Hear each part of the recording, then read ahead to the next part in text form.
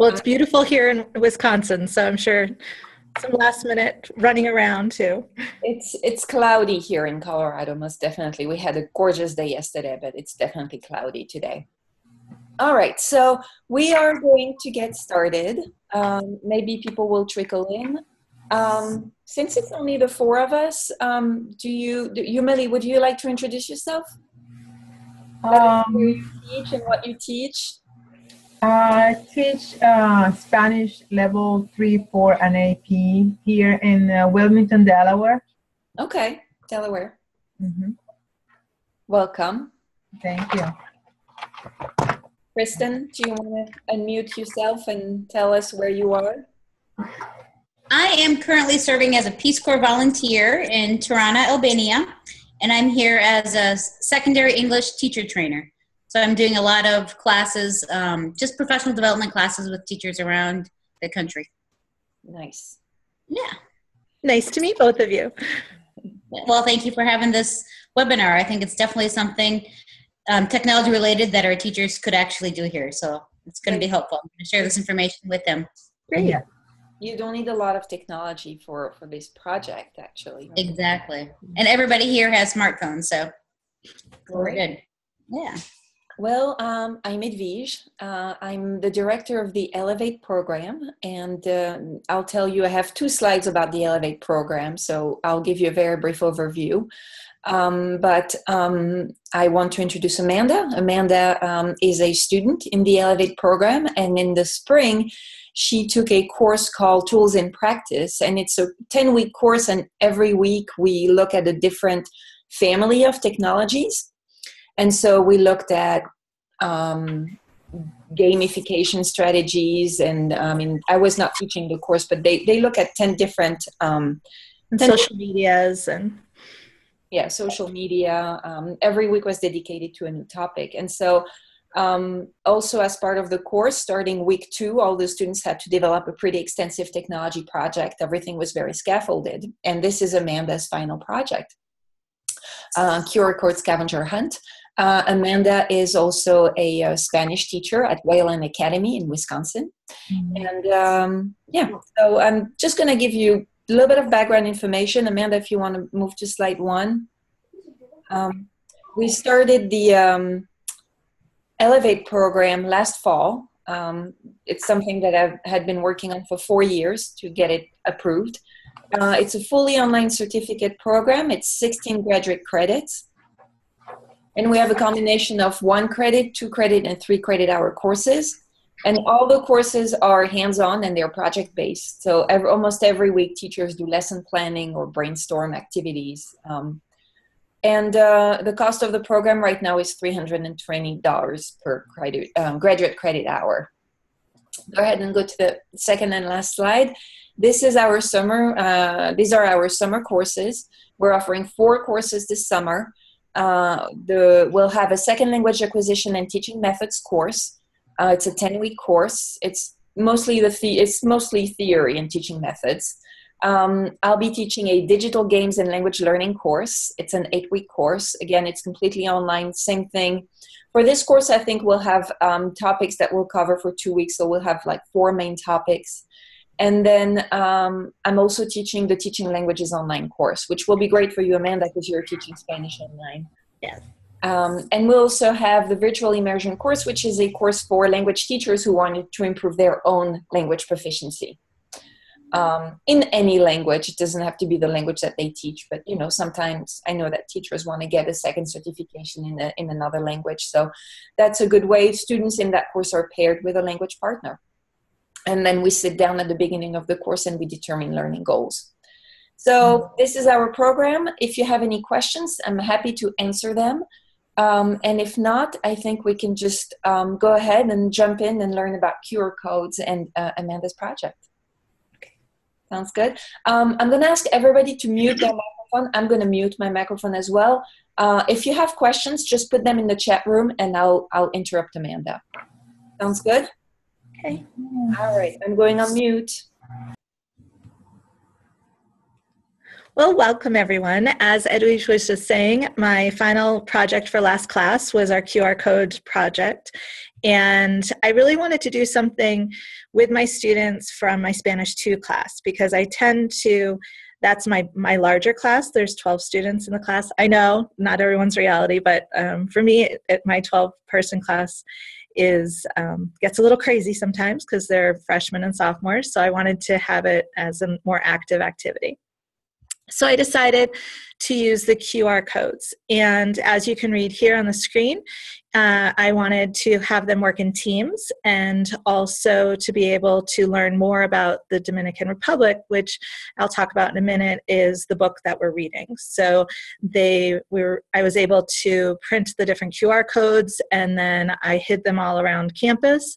Our campus, um, as Edwige was saying, I teach at Wayland Academy and it's in Beaver Dam, Wisconsin. We have about 200 total students and it's really set up as a college campus. It looks like a college campus with different buildings that the students travel back and forth.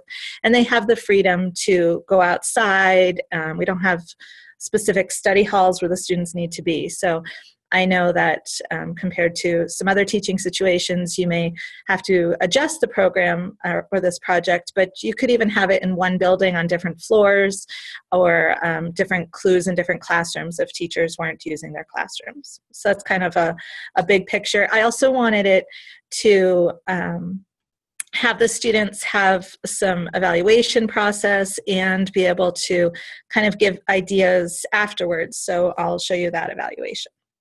Okay, so here.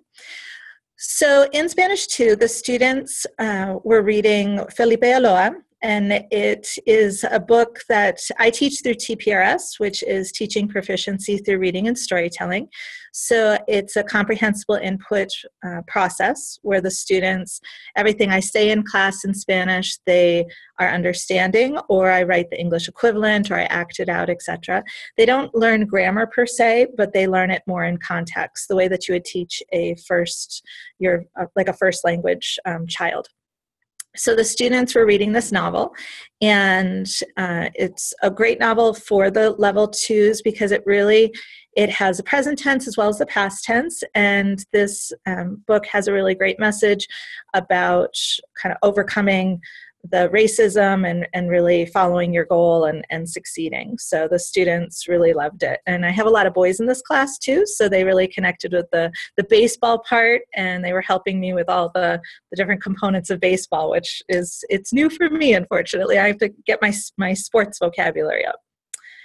So um, the but I wanted, again, coming back to why I want to do the QR code is that I really wanted to give them some more background about what's happening um, back in the 50s in the Dominican as well as current day and the differences between living in a dictatorship as, um, as opposed to the democracy. So that's why I chose this project. So first of all, what is a QR code? So as you can see on the right side of the uh, screen over here, it kind of looks like a barcode. And so QR stands for quick response. And it was extremely easy to set up. You don't have to be a tech savvy person to be able to, to jump into this project.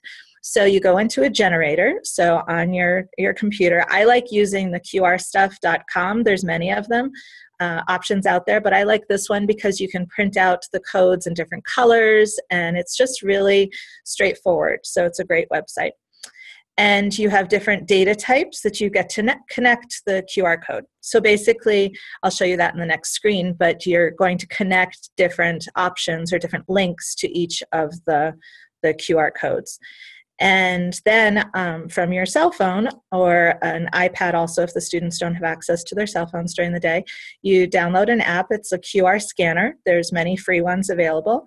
And it acts as a scanner. So wherever that code is, the students just put their, they activate their phones and they scan it and it automatically links them. So we're not wasting the time of having them type in URLs or kind of going back and forth. It's just instant, which is definitely a benefit. Um, and we found out actually in the process, because I wanted the students to be able to document some um, of their fun kind of moments that I was missing because I couldn't follow them through the whole QR, um, through the scavenger hunt part. I asked them to Snapchat.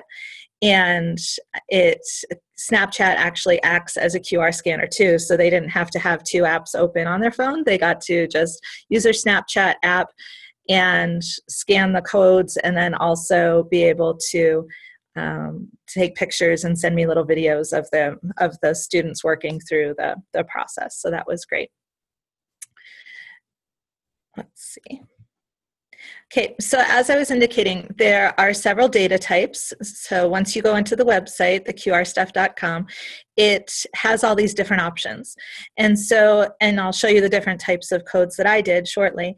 But as you can see, there's many different options open to you. So you can have them linking to a URL, you can have them linking to a YouTube video or to map if you wanted to have it more as a true scavenger hunt, try to get them to different locations in a town, for example, that would be a great idea. Or if you wanted them to look at a specific Instagram, um, I also used a lot of the plain text option over here as a um, to give them more information. So I would have them, I would put a phone number in there and then list the like four bullets of what they had to do once they called this mystery number. And so it, it was a great way to combine the different tasks or if you want to have them email, etc. So there's a lot of different possibilities that you can do. So uh, here are my learning objectives. I really wanted the students to work together in teams. I find especially um, as well, I worked in public school before I came to this private school, but the students, we don't give them enough scaffolding of true teamwork. And so what I was finding is that a few students would be the head of the team, and then the other ones would just kind of go along in different activities that I did. So I wanted an activity that each student needed to truly collaborate and to work together and solve the clues. So I created different clues that knowing my students of my kinesthetic learners or my math geniuses and trying to figure out which um, type of clues so that way each one of them would be able to be a, a god or goddess, as I say, um, of the, the task. So, meaning that they would be able to be in charge of a, a task too. I also wanted them to do problem solving skills and then just going through the different um, items that, that we, as we think of our learning objectives of comparing and contrasting and then also being able to, to do that presentation part of being able to talk about what worked well for them, what didn't work well, what do we want to change. So again, as Edwige was saying, this was designed for a Spanish 2 class. You could change it for any level though. Uh, my students are 9th and 10th graders, and this is their second year of uh, Spanish. RCP is our college prep level, so it's our regular level as opposed to our honors level. And they have medium to strong command of the Spanish language. They are able to express and especially understand preterite and imperfect and the future tenses, and then being able to to um, output is a little lower. So, and there's 12 students in the class. I divided the 12 students into groups of three with four students each. And actually, at the beginning, I wasn't sure how I wanted to do that, if I wanted to divide them myself. And so I asked the students, and they really wanted to choose their own partners. But some of them told me privately, you know, I really don't want to be with so and so. And so I had them just write on a card who did they want in their groups and then who did they not want in their groups. And I was able to to pair them together so that way they they were in the groups that they wanted to work with too, for the most part. Uh, in our course, we had also talked a lot about gamification strategies in that section, and I really wanted to, to incorporate a puzzle also. So the scavenger hunt is a puzzle in itself because the students are trying to solve the different clues. But then the actual act of putting together a jigsaw is just something that, that was fascinating me as I started researching the different parts of my literature review. So I decided I wanted to to get some visuals in there and to create the puzzles to then be able to have kind of a post activity of kind of reviewing their different clues, but then also having the next level of a conversation. So, talking about the history of the flag or the different fruits that are available in the tropics compared to here in Wisconsin is a little bit different.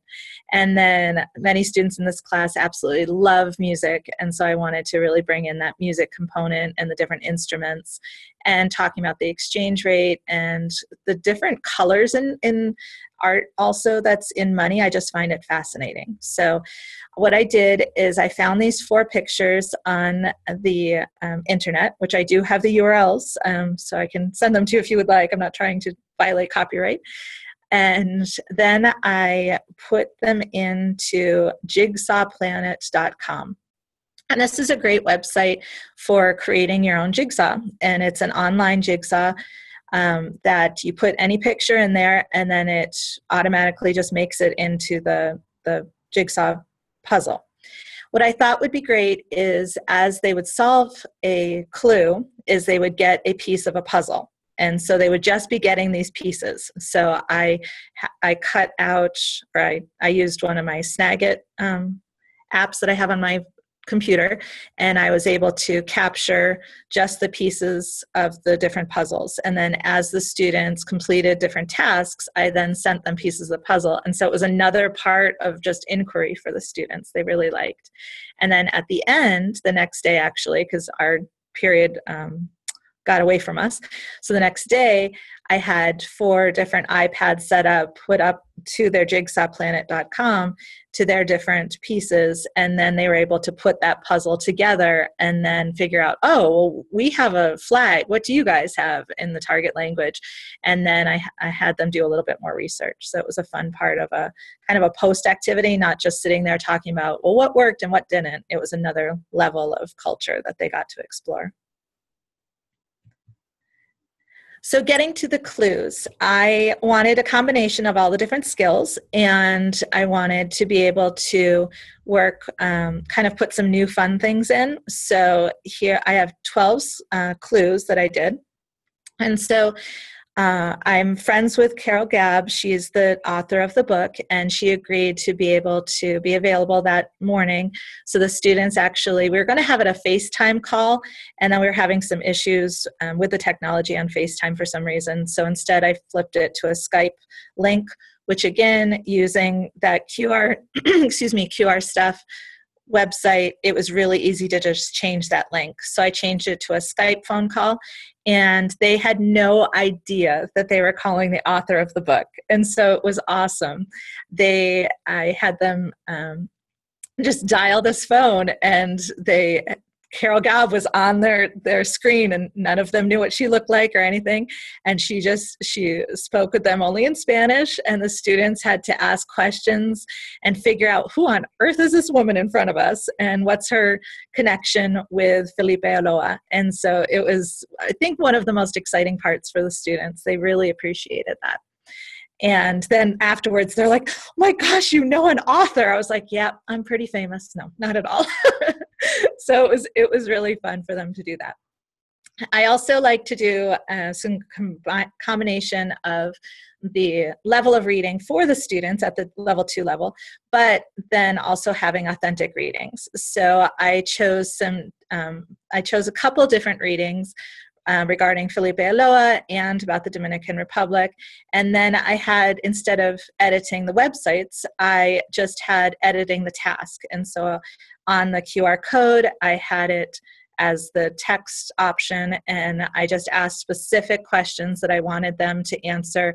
And it was more like looking for the that like to differentiate the instruction. So I knew that some groups had a little lower of level and some were higher. So then I was able to give each group a reading at their level. And so I was able to to give the lower level, for example, uh, questions just about like the headings and about um, the really obvious things in an article. And then my higher level students that I wanted to challenge a little bit more, I had them my questions in English and they had to figure out the answers in Spanish. And then they had another link that they then submitted answers. I had some throughout the the scavenger hunt they had to submit for uh, through Google Form, some did through Google Docs, and some I had a whole bunch of different um, linkings for them. Uh, we just had a diversity day the Friday before that class or the week before that class, so I wanted to connect that connect connect that lesson with what was happening with Felipe Alou in the 50s, being a black man in the United States, and what was happening there. So we were able to connect some of those um, lessons too, which was really great. Um, and then we had some videos. I had have them specific questions and they had to leave a excuse me a voicemail message for me. So it linked to my cell phone which my voicemail on my cell phone is in both english and spanish. And so then they didn't get to see me because they were out you know on campus and they had to just leave the voicemail. So it was kind of funny listening to them talk back and forth and then leave the voicemail as opposed to just being able to see me face to face and be able to see my reactions and help them. So that was a fun part too for my kinesthetic learners, I had another teacher available at one of the stops along, and the students had to create a body puzzle. And so they had to connect all each other and then get out of the, the knot too. So some of it was just silly things that I added in. Then as you can see, here are some of our other clues. We had um, some refranes, some sayings, and having them connect, well, what does this exactly mean and what could it, how would you translate it to make sense in English, for example. And then I had some baseball statistics. Both our baseball coach and our math instructors helped me create some word problems because again, I'm not a baseball girl. So they were able to connect um, the that cross cultural or cross curricular um, connection, and the students like that too. Amanda, um, Yumeli asks whether you had different QR codes for each group at each clue. Yes, I'm going to show you um, what that looked like. So I had a total of the 12 clues, but I changed the colors of the clues and the order that each student or each group was solving. And so you'll see that in the next slide. Thank you for that question. Um, my students love to eat, they're teenagers. So, clue number nine, they had a blind food tasting. And so I had a bunch of different fruits that maybe they hadn't tasted yet. Um, and plus, they had a blindfold on. So it was that trust level of that they were tasting these things and different textures. So that was fun. And then we have a Mexican um, market right down the street here. And so I took some of the, I bought some of the Latino sodas. So the, um, all the different flavors of the pineapple soda and the um, guava soda and the grapefruit. The students, it was really funny to watch them try to figure all of those flavors out. And then I did have some bonus questions because I knew, again, I had differentiated instruction. I had some of my um, higher level students knowing that they would go through the clues faster.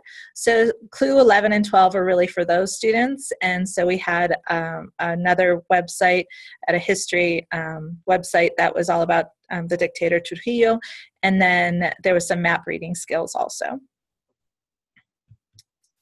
Okay so to answer your question there all the clues were the same for the different students except for the reading that i had that there were the different levels. But for example the quest one so quest just represented each of the teams and they went from clue one, two, three, four, etc. But then quest two started at clue 10 and then went to clue 9 and clue 8. And how I organized that is I just made the QR codes different colors and then I print them printed them actually on color paper also and then I hid them all around campus. And so they had to go from clue to clue. And at the once they solved a clue, then they got a text to tell them another like thing like for example, I wanted them to go to the Eladi building, which is the senior boys dorm. And so I had them, um, I put a little fact about Eladi. And then I wanted them to go over to the school store. So I put a little fact about the school store. So they had to go to that one for clue seven, for example. And all of those clues, it got them more connected with our campus and the history of Wayland. So it was another interesting uh, component of this that they really got to okay what do i know about wayland and connecting with our history too instead of just the the foreign culture? Does that make sense about how i organize the clues?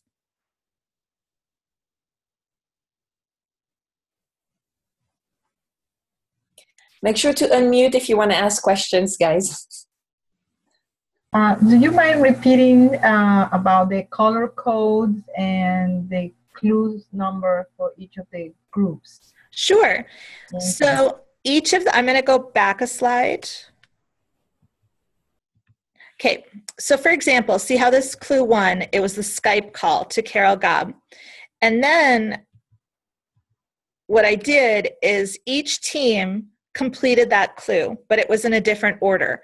And so I made this document on Word to kind of create my map of clues, if you will. And so I started quest one, just clue one, all the way to th- clue 12.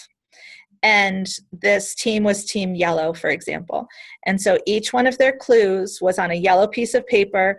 And then I had their QR code, because you can print them in different colors too. So I had theirs just in black. And so this team went from clue one, two, three in normal numerical order. Then team two went here. Um, they started with clue 10. So, like clue one was located in our dining hall, for example, Mm-hmm. but clue 10 was over in Wayland Hall, which is our, our underclassmen boys' dorm. And so the students i the reason i did different colors and different orders is i didn't want all 12 students or even two teams being at the same clue at the same time and because i wanted each team to have that challenge component. And so i was able to kind of figure out and i only mixed up on a couple of how much time it would be to complete each clue. So they were able to be in different parts of the campus mm-hmm. and that way they weren't stepping over each other. Mm-hmm. And they had different colors too. So they didn't know that each that all of them were solving the same clues.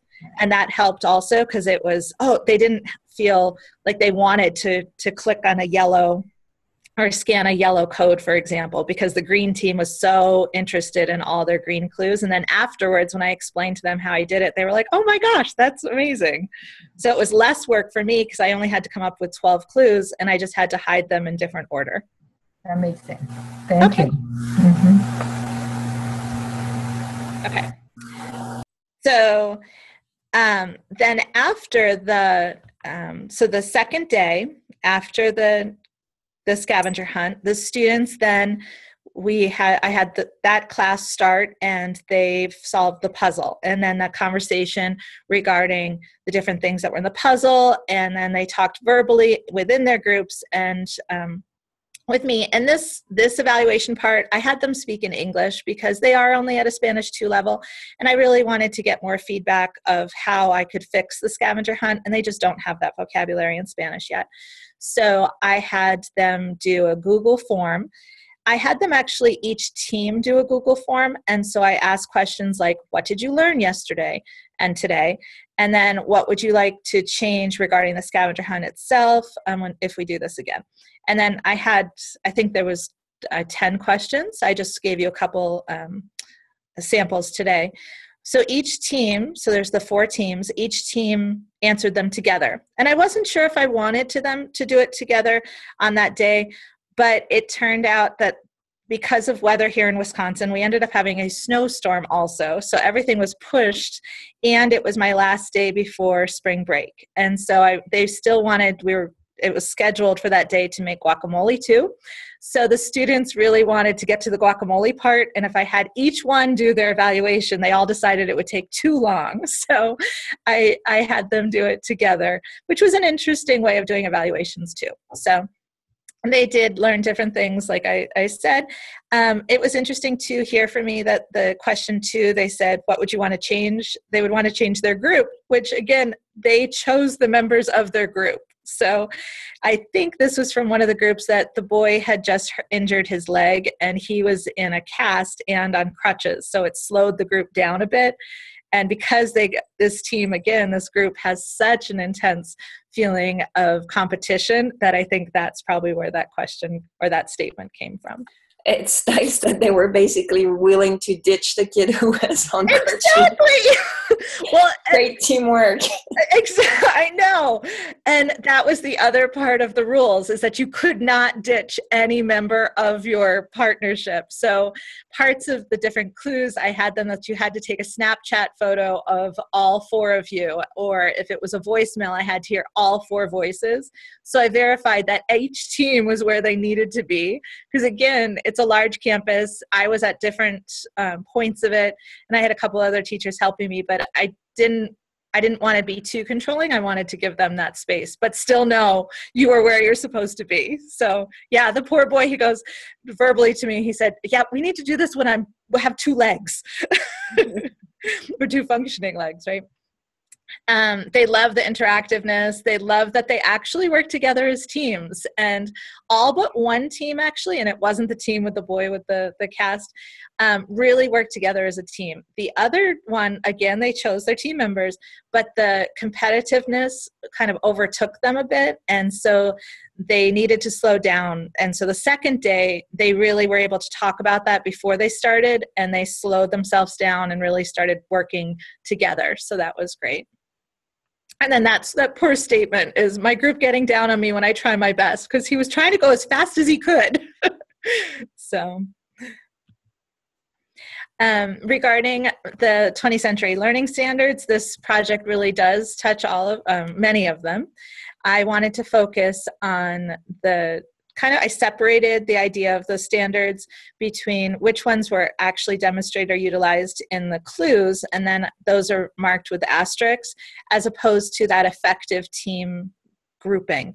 And um, so it was a multi level project, and it was really fascinating to see how the students were able to, to work towards each of the standards. And then, of course, the ACTFL standards, I was working on the interpersonal, interpretive, presentational, and really wanting them to connect more with the Dominican Republic and, and starting to really think about uh, life beyond our campus and using Spanish effectively. So those were our, our major parts. I'm not, let me see if I, okay. So that's our contact information. So, uh, what are your questions? What are your I love this project. I think I, I love getting the kids out of the class. I love the fact that you were able to get them to really collaborate collaborate together. So I, I think that's I mean that was a really strong project. And it really spread throughout our campus as the other students that aren't in my class um, mm-hmm. were watching my students run around and get so excited about education. They really started, they started asking their teachers if they could do a QR scavenger hunt too. So I've been able to meet with our science department as well as history to, to really get some ideas going and see if we can spread this cross curricular. So it'll be a lot of fun for our whole campus. Do you think you could organize a cross curricular scavenger hunt where you would do your hunt with a history teacher, for example, in a kind of team teaching situation? That could definitely be something coming up. For example, our World um, Civ class is currently learning about the Mayan and Aztec cultures. Okay. And although it's we only have three weeks of school left, so it's a little cramped for this year, but I really think that this could be something that we could combine for next year. It and those, a lot of those students are in Spanish one, so it would uh, be another level of a challenge for me to get the clues to their level. But I think that would be fascinating to be able to have the that cross curricular and to be able to do the the outside more act, active mm-hmm. activity. Yeah, it's funny that you were mentioning that. I was thinking about uh, Julia Alvarez with. Uh, you know, the time of the butterflies is also the Dominican Republic, and many other you know connections. I'm in a math and science school mm-hmm. so i can see the many connections uh, with the other curricular uh, activities. So it's a great great project. It will take a little bit of time to prepare but i think once you do it then, then you just change this the topic and you can go ahead and it's, it's great. It's wonderful Thank you. It mm-hmm. did take a little time kind of to get my my mind around okay, how am I going to create these codes and kind of that coding map of figuring out I don't want to to make hundreds of codes right. and and different mm-hmm. tasks. I really wanted to make it simpler on me too. So mm-hmm. just doing the 12 um, major focus and then having them move around that that definitely took a lot of work out of my my part. So meaning that it lessened my work. And now that i've done it once i'm excited to i'll be making one for my two honors class for next week. So they're really excited to to adventure in theirs. And, And for film, sorry for the film that you mentioned the students um, i haven't watched the in the time of butterflies with this class but i did just do that with my spanish film class so i, I think it will be a great connection. We did watch sugar um, with spanish 2cp after the book and they absolutely loved another connection with the the baseball and to be able to to really hear the spanish of the dominicans and it was great for them to to be able to connect that way and i think another cross curricular would be even to combine with our baseball coach and Mhm. having it Yes.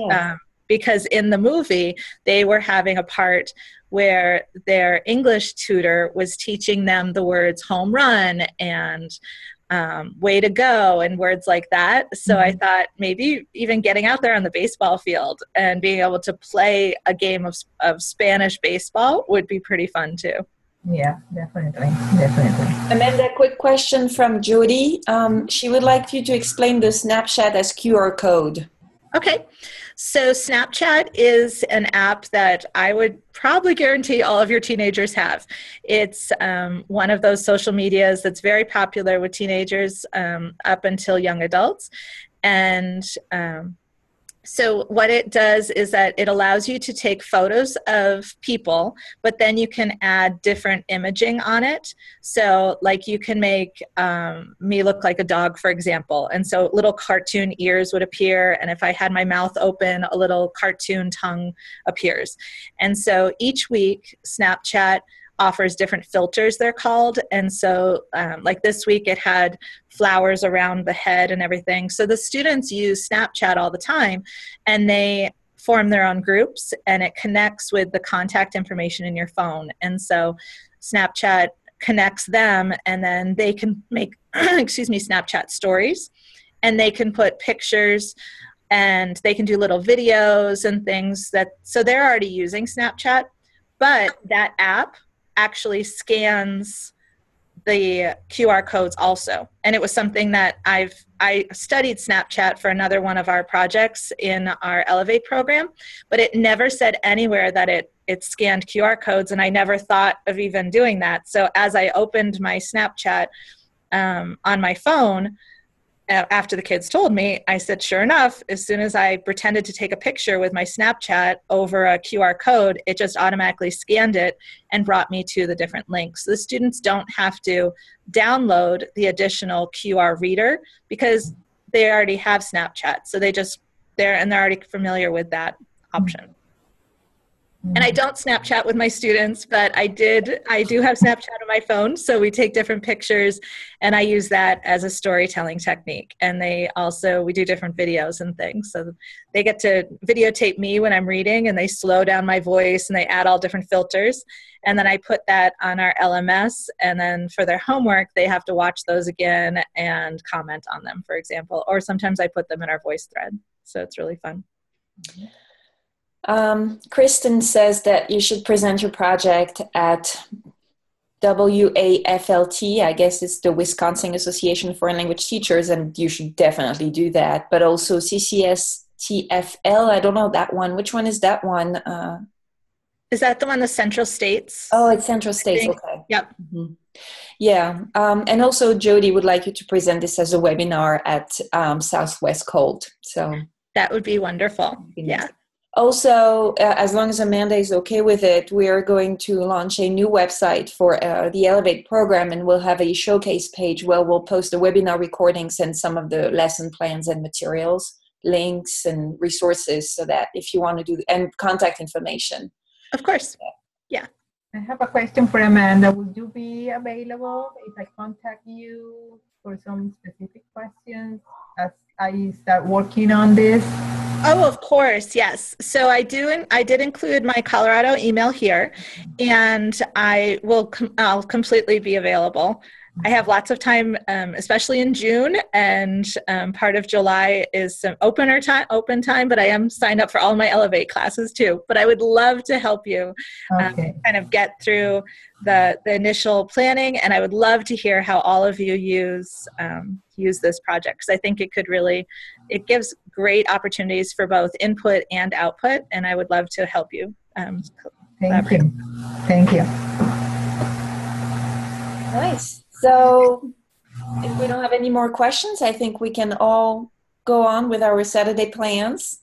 Um, I'm going to um, email everybody the recording. Uh, it's probably a big file, so I'll see um, how I do that. But I'll have the recording to everybody by Monday.